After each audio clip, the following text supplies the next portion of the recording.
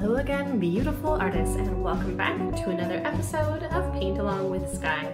If you're new here, welcome. My name is Skye, and I post beginning level acrylic painting tutorials here on YouTube every Saturday. So make sure to hit subscribe so you can join the fun and paint along, and don't forget to hit that bell icon to be notified when I post a new video.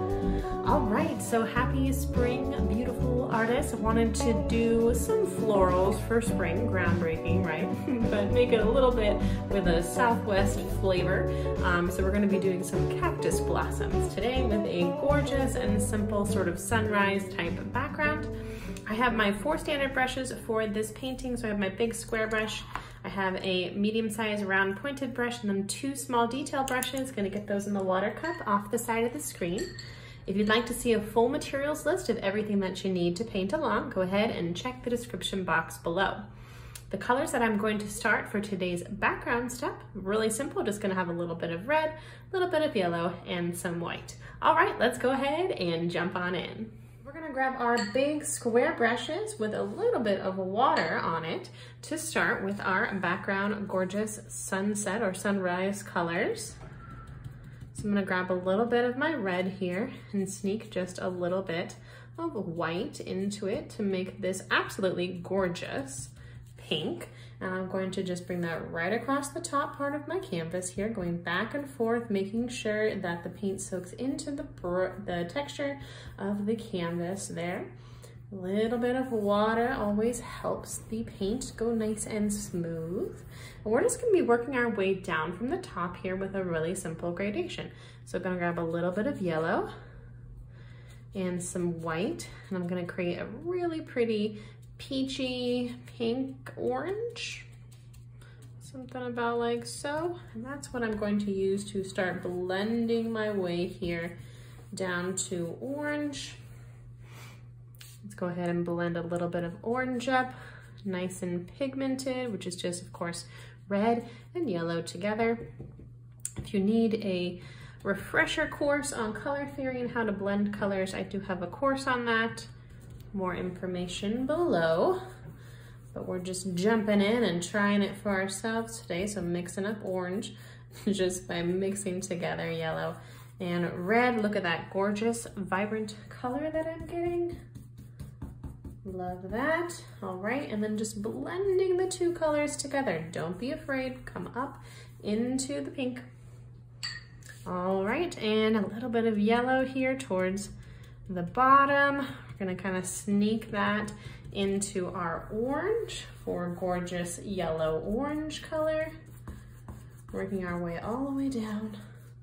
This painting was very much inspired by my current surroundings here in the high deserts of the American Southwest, where we have gorgeous sunrises and sunsets, almost on a regular.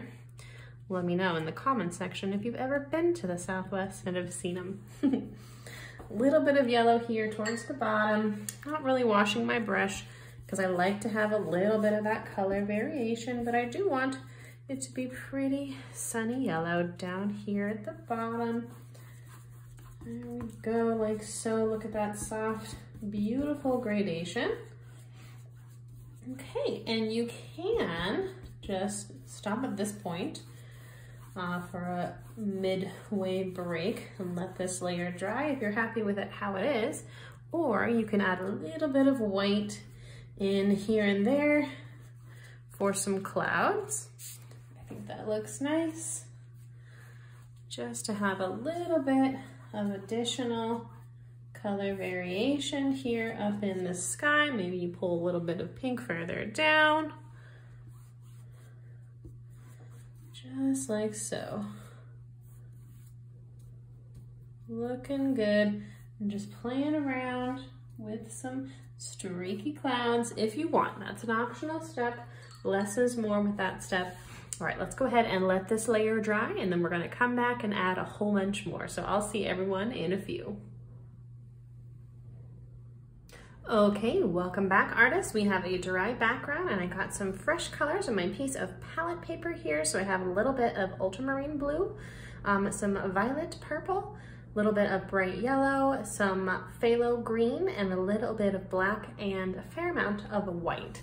I rinsed my brushes and got fresh water at break as well. All right, let's go ahead and jump right back into it. So for this step, I'm gonna grab my second to smallest brush. If you'd like a little bit more control, you're welcome to use your very smallest brush, but I like to use this guy right here. So a little bit of water on my brush. I'm going to pull over some of my gorgeous green with some white and a little bit of yellow. And this is going to be my sort of base cactus green color, which is the color of my nails, if you noticed there. Gonna do a little almost color match there, and we'll coordinate. Okay, and I always start smaller so that I can make things bigger, but what I'm gonna be doing here is sort of blocking out all of these little cactus shapes. And they're just going to be little ovals, like so, starting here at the bottom. That looks just about the right size, but if you wanted to adjust, you could sort of bring the line out a little bit further. And then these cactuses grow by like having these little pads come out from the top here and they can go in different directions and different angles here. So I'm gonna do sort of like an oval shape there, which is going to be one that's sort of facing its profile towards us more. And then another sort of big one here for the base.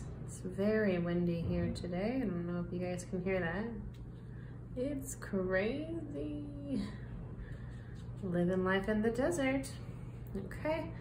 And then maybe this one comes out to the side. You get to kind of build whatever kind of cute little cactus you would like.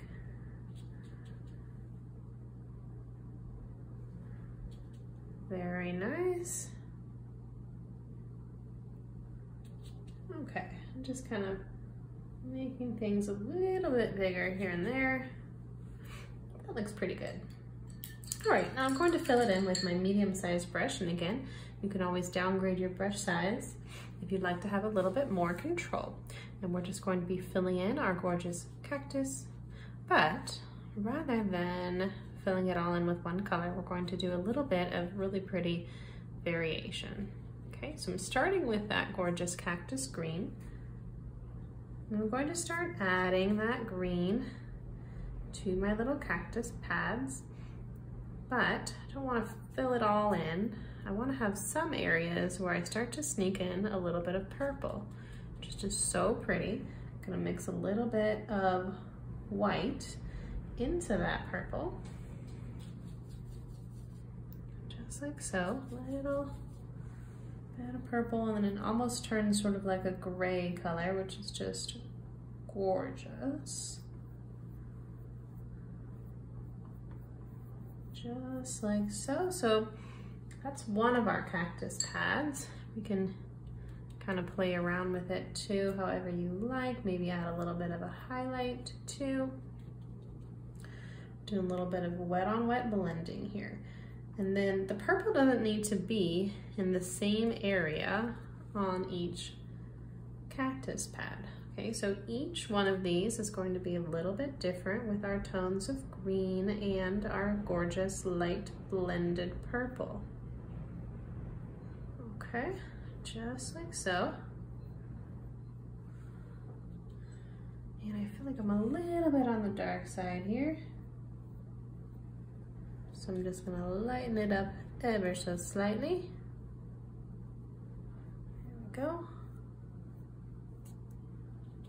Okay. I like to have areas of both light and dark here. Lots of little variation. Feel free to downgrade brush sizes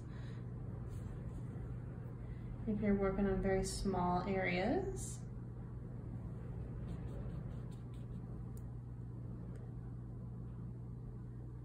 A little bit of green on one side, super cute. Looking very pretty. We want to keep our most outwardly lines here. Okay, very outside edge there, making a nice crisp edge.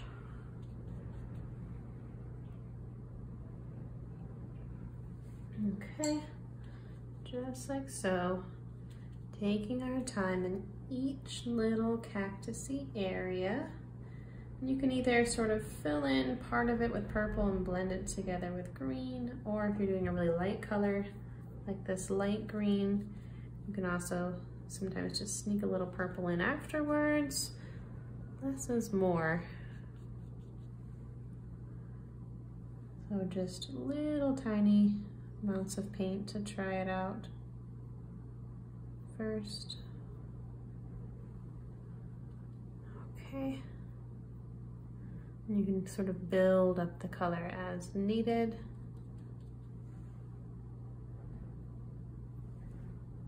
A little bit of purple in each area like that. That looks nice. Okay. Some areas I'm gonna let be pretty purple.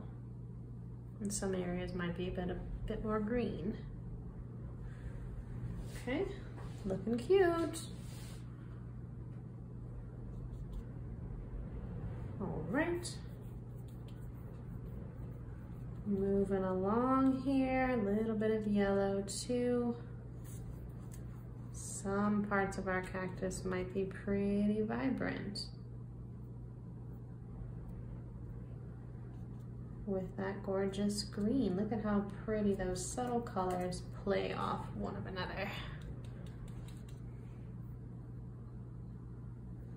Okay, a little bit of white maybe in this guy.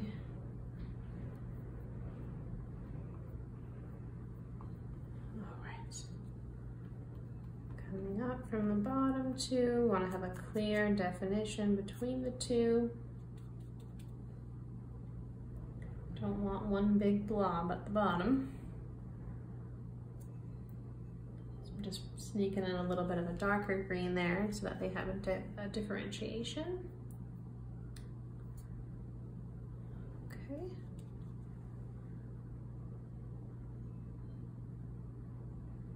Try my best there to get a nice crisp outside line.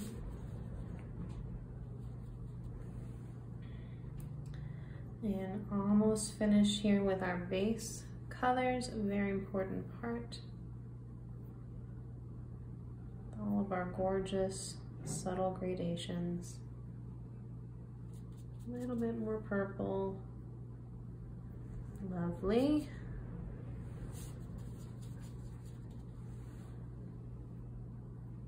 All right.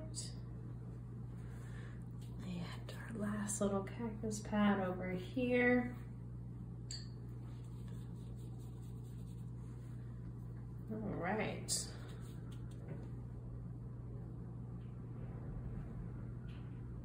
Looking good. Filling that in with the base green. I think a little bit of a yellow green would be nice on this guy. On one side, and then maybe we're doing a light purple on the other. Nice. Lovely. Okay, I'm gonna grab my second to smallest detail brush real quick as well and just real fast I'm gonna sneak just a teeny bit of black in to make sort of a grayish green and just use that to clean up any little areas that I want and add just a little bit of shadow sort of at the base of where these guys are connecting. Okay, like so.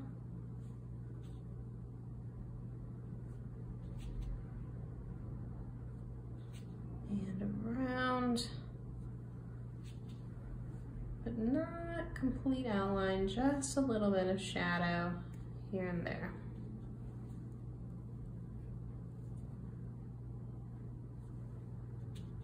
Okay, very subtle, but just kind of cleaning things up ever so slightly.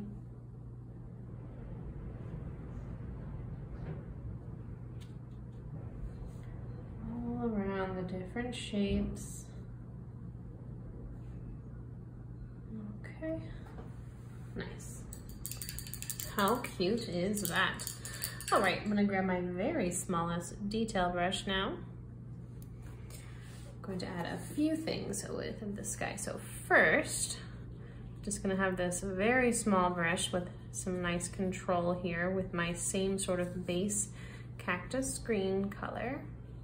I'm going to add a little sort of oval shape right here. That's going to be one of our little blossom buds. And then we'll have one coming up here as well. This one's going to be sort of a triangular shape as it starts to open. Okay, super cute. And let's do one more over here. Just like so super duper cute. Okay, we are gonna have a flower sort of dead center. Also, these are sort of our little accessory flowers. I'm going to come in here with a little bit of a darker color and do a quick little shadow on the side here that faces the ground.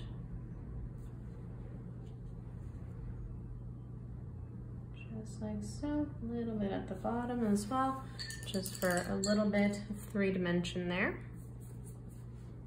All right, and before we add our blossoms, we're gonna let our green dry a little bit.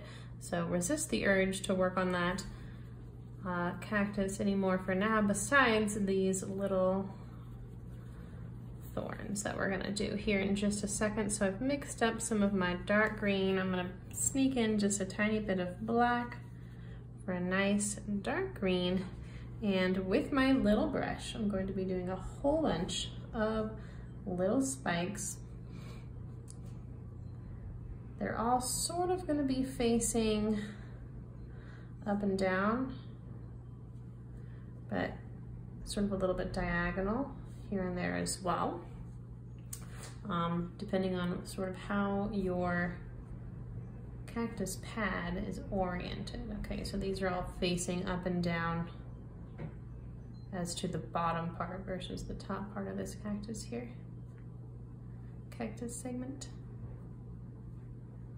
Little tiny flicks of the wrist. You don't want to go too heavy-handed.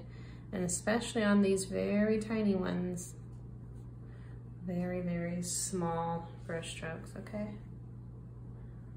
teeny tiny little brush strokes.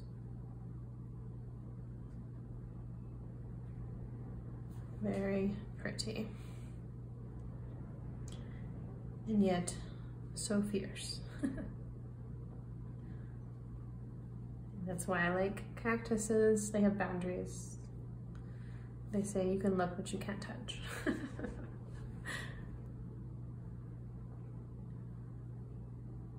and especially they blossom, which is just so beautiful. And the cactuses are not quite blossoming yet. I'm sort of looking uh, ahead, forward here into the future with this painting. But I'm pretty sure, this is my first full year here in the Southwest, but I'm pretty sure that they are blossoms first and then they turn into the prickly pear cactus fruit, which I did eat quite a few of last year. That's right when I got here. So I'm sort of watching the process. All right. And a little bit bigger brush strokes here in the bigger sections, since these are gonna be slightly bigger pads. A little bit further, like closer to us here as well in the foreground. All right. Very cute and so simple. Really, just a few steps to create. All right, I'm gonna leave this sort of in between area. I think I'm gonna connect my big purple flower right there. So I'm not gonna have too many spikes around that so that I don't have to use too much paint to cover this dark green color.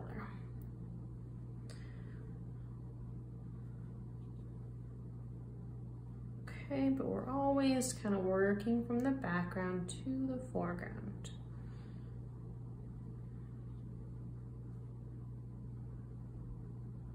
Okay.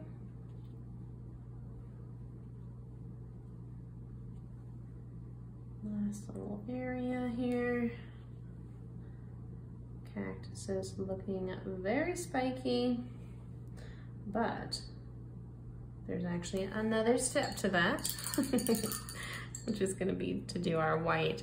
But let's go ahead and let that dry just for a, a little bit because it looks like this area is dry enough to add our blossom. First layer here, so we're gonna take some purple, some violet here, and mix it with a little bit of white, but I still want it to be pretty purple, pretty pigmented. Okay, and I'm gonna just do all sorts of brush strokes coming out around what will be my center there. For a nice sort of head-on flower here in our composition facing right at us. Okay, beautiful. And then I'm just going to do a yellow center with a little bit of yellow and white. Just gonna add that right in the center there.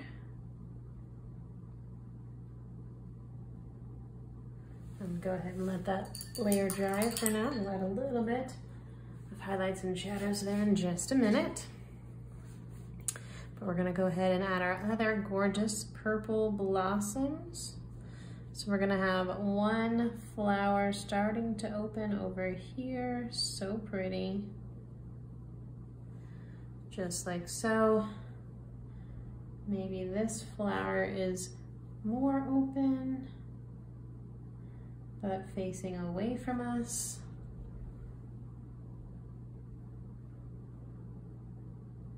like so. And then this one, not quite open yet. It's just a little triangular shape there at the end of the green. Super pretty. All right, let's let that dry for just a second. Gonna grab a little bit of white. And yes, I'm going to come back into all of these tiny little brush strokes that we just did. And I'm going to do a very light highlight on most of them. Okay, just a little highlight for some texture and some interest right alongside your green. You don't want to cover the green too much. Kind of go right next to each other and this is very much a detail step so this is very very light-handed.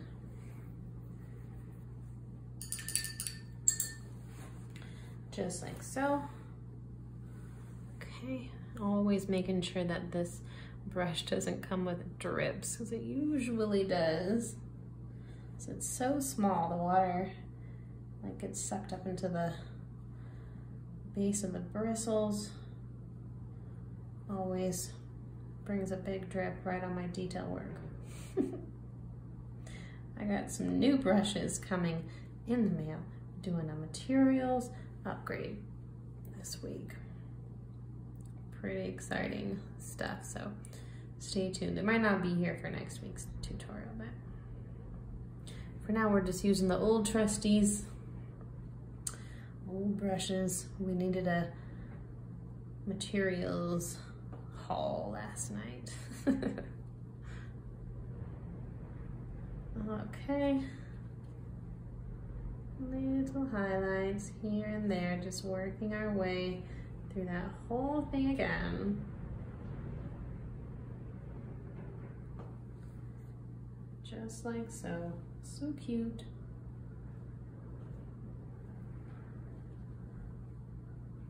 Very clean composition today. Keeping it simple. Originally I had two types of cactus. But I decided just to stick with this really cute prickly pear type. Because they are a little bit of work. I like to be able to just keep classes short and manageable and digestible. So we'll focus on one cactus at a time.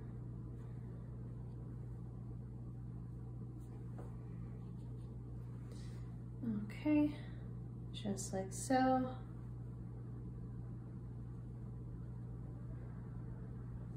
And final little area.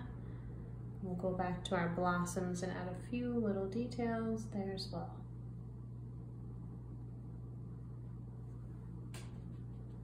It's okay if your white is turning a little bit green. Works too. Okay, lovely. Then I'm going to grab my yellow again. Let's go back into the center here. I just rinsed my brush really quick, but I wanna have a nice solid yellow center here. Just kind of tapping that in there. And then I'm gonna grab a little bit of white and just have a little bit of white texture in the center as well. And want to make sure that my purple is nice and solid everywhere as well. I'm gonna grab a little bit of blue